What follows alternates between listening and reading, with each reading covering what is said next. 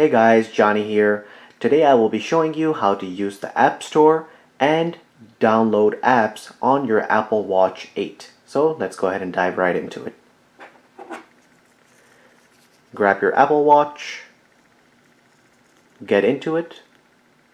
Once you are into it, scroll and locate the App Store. Click on that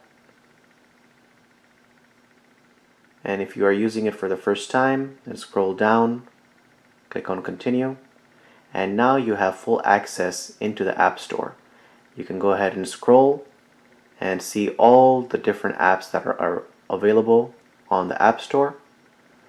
So for example let's go ahead and look at this one.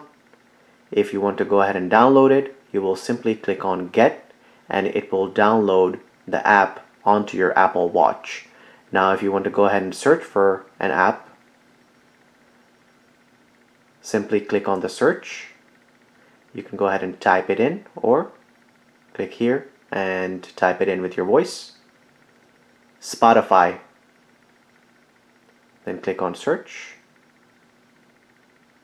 and it will give you the app right there.